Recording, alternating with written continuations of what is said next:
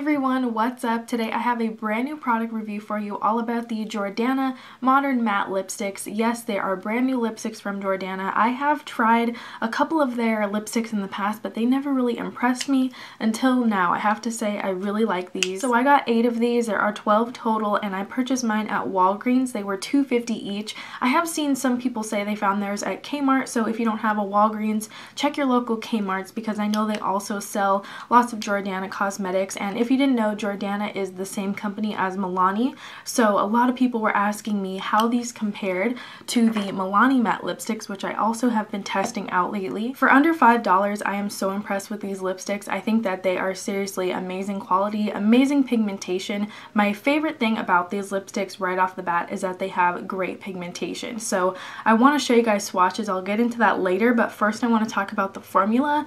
And the formula claims to be a modern matte finish. So it's it's not a regular matte lipstick. It's not as matte as say a, you know, MAC matte lipstick. So I'll do swatches at the end of this video. First I want to talk about the formula, everything, the claims like that. So these claim to have a modern matte finish and on the display it says matte lipstick that's not going to dry your lips out. You know, it's supposed to be a comfortable matte lipstick, which is where the whole modern matte name comes into play. And I totally agree with that. These lipsticks are actually really comfortable to wear.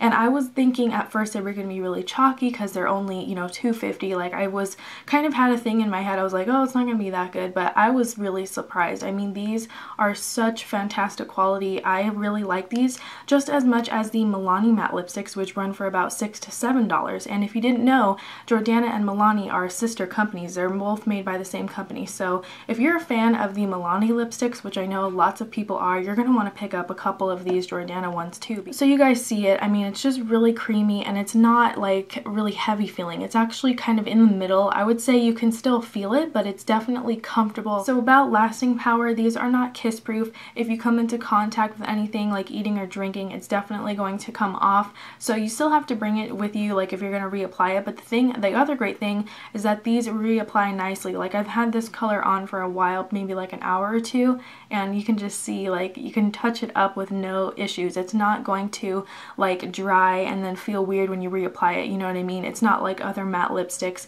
in the sense where sometimes if you try to reapply them during the day, it can kind of like ball up and look really unflattering. But with these, they're so creamy, you don't have to worry about touch-ups. It's just a breeze. Yeah, so let's get into swatches. I'm wearing this one called Matte Blush right now. It's kind of like a medium brown. It's like, I don't know, I just like this. I don't have many lipsticks that are this shade. And here's what it looks like layered a couple times on my hand. You guys saw when I swatched it earlier that you do kind of want to layer these maybe like twice to get full color, like to get opaque color, you do kind of need to swipe them a few times. This next one is called Matte Adorable. Yes, it's very bright and it's like a cool tone pink. It's very out there. I mean, it's really, it reminds me of something from Lime Crime or like my NYX Macaron lipsticks. I just noticed something weird is that when I was touching this tube, the ink was coming off. So I guess that's another packaging issue. Just be careful with that. So it does take a few times to get opaque coverage, but once you do swipe it those two or three times, it's just like bam, full on color. Okay, here's one of my next favorites. It's called Matte Tease. I really like this because it's almost like a rose petal color.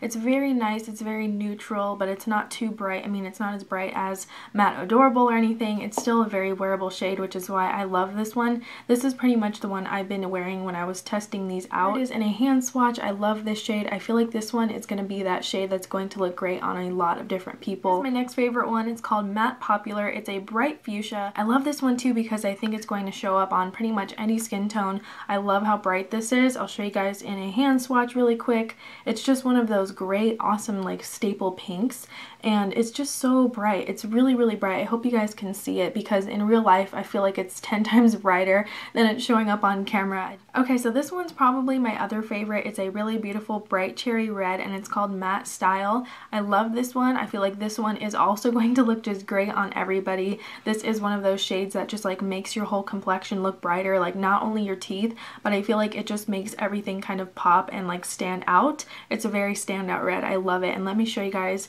how pigmented pigmented it is in a swatch. It's just really beautiful. And also, I forgot to mention that these lipsticks don't have any scent to them whatsoever. So this one is called Matte It Girl. It's a really beautiful, like deep, almost plum. It's so nice. And I feel like I have MAC, maybe it's MAC Rebel or is it Girl About Town? I forget which one. But it reminds me a lot of one of those lipsticks. I forget which one exactly. So there's Matte It Girl in a swatch. I love this one. I feel like it's also really flattering and it's just got that beautiful like purple tone to it. It's like a berry purple. I love this. And then this is the last shade I have called Matte Classy. It's kind of like a mauve lipstick, but on me it looks a little bit brown tone. See in the swatch right here, it kind of looks a little bit browny on me, but I'm sure it'll depend on um, what your skin tone is, how it's going to look on you. Alright guys, so that's it for this review. I hope you all enjoyed it. I love talking about lipsticks, and I will be having my Milani matte lipstick review coming very soon. I just have to test them out a little bit more. Mine is I totally love these lipsticks, especially for 250 I mean, that is so affordable. It's ridiculous. Like, I love the price of these, and I think the quality is also there. I mean, for a matte lipstick that is under $5, these really blew my mind. I love the pigmentation is like amazing, as you guys saw from the swatches, so I'm just really impressed with these. I hope you guys can try them out. If you have already, please let us know your thoughts in the comments because I would love to hear from you all, and as always, thank you so much for watching.